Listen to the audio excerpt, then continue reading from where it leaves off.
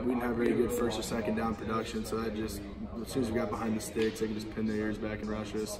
And they're uh, really good at rushing the passer. So it's a combination. Now we got to win first down, and it's hard to win first down if you don't run the ball well enough. And uh, you know we haven't run the ball well. Just talking about communication. Uh, you know, I really follow it so much. Uh, Yeah, I mean, younger group of guys, you got to realize, you know, win or lose on Saturday this early in the season, you know, we got a whole lot of, you know, the season left in front of us, got a lot of ball to play.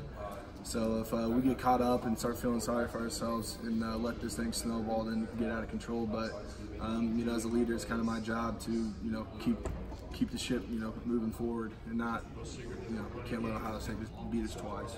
How important is practice going to be this, this week in that regard, not having guys kind of in the head? Yeah, I think we just gotta be more crisp in practice. We gotta get out there early, walk through more looks and stuff, and uh, spend a lot more time on our, our, our technique. And uh, as far as um, you know schemes and doing that sort of things, you know, I got full faith in our staff that we'll we'll make the adjustments we need to. But um, we gotta be able to rush the ball, and we got to start winning first downs.